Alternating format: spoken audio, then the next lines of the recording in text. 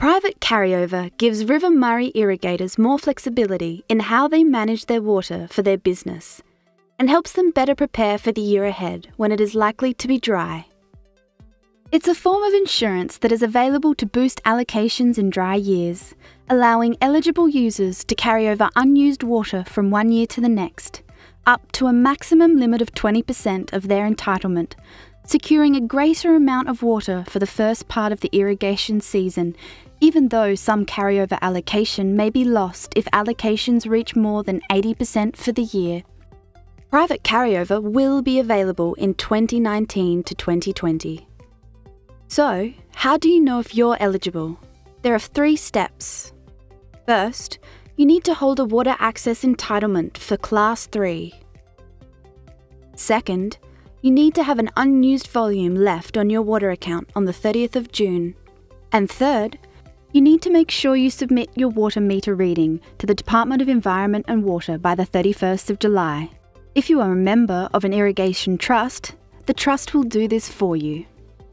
In years that private carryover is available, we need to take a few things into account before we can tell you exactly how much water you'll be able to carry over.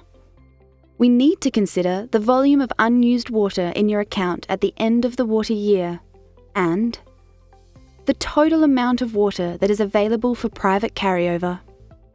We also need to consider improvements in how much water is available for allocation during the water year because if conditions improve and allocations increase, total allocations, including carryover, cannot exceed 100%.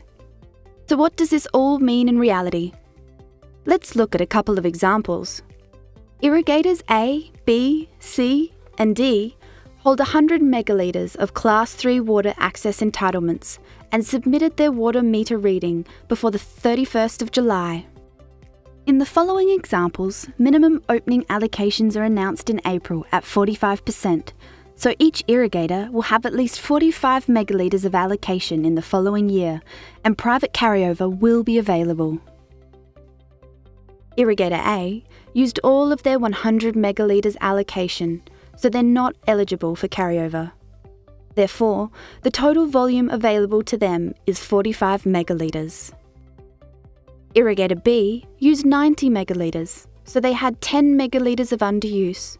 This is only 10% of their entitlement, well under the maximum of 20%, so they are eligible to carry over the full 10 megalitres. Therefore, the volume available to them is 45 megalitres of allocation against their entitlement, plus 10 megalitres of carryover, which equals 55 megalitres.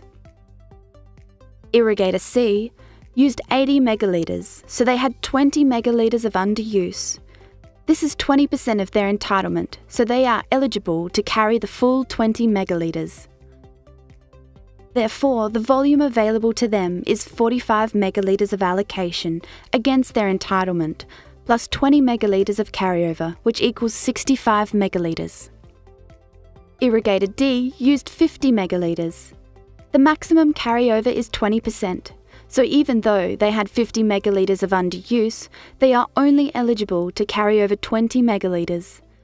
Therefore, the volume available to them is 45 megalitres of allocation against their entitlement, plus 20 megalitres carryover, which equals 65 megalitres. Once we know how much carryover people are eligible for, we then need to compare this volume to the amount of water available for carryover there is more than enough water available to meet all potential eligible carryover demands in 2019 to 2020.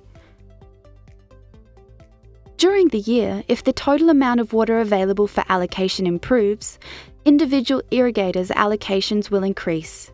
In our example, if water allocations increase from 45% to 85% during the water year, Irrigator A is not eligible for carryover the volume available to them would increase to 85 megalitres. The volume available to Irrigator B would increase to 85 megalitres of allocation against their entitlement, plus 10 megalitres of carryover, which equals 95 megalitres. Because Irrigator C's total allocation cannot exceed 100%, the volume available to them would increase to 85 megalitres of allocation against their entitlement plus 15 megalitres of carryover, which equals 100%. They would lose 5 megalitres of carryover. Again, Irrigator D's total allocation cannot exceed 100%. The volume available to them would then increase to 85 megalitres of allocation against their entitlement, plus 15 megalitres of carryover, which equals 100%. They would lose 5 megalitres of carryover. If you are eligible for private carryover and your meter readings are submitted by the 31st of July, your carryover will automatically be credited to your water account. You do not need to apply and there are no fees. Once the carryover allocation is on your water account, the volume is available for use or trade and must be used in the water year it is provided. Just remember that any trade out of your account is considered when determining your maximum allocation, and that your total allocation, including carryover, cannot exceed 100%. Following the minimum opening water allocation announcement in April, you will need to decide whether saving water to carryover for use in the next water year is the best option for you, or if other options may be better. There are an increasing number of products available to help manage business risk during dry times, including leases and forwards, as well as carryover interstate. You can also trade in additional water to generate an unused volume on your water account to carry over. The Department for Environment and Water will provide regular information about how likely allocations are to increase to help your decisions. It is recommended that you seek a range of advice from your irrigation trust, industry association, or water broker to decide the best option for you. For more information about private carryover, contact the Department for Environment and Water at www.environment.sa.gov.au.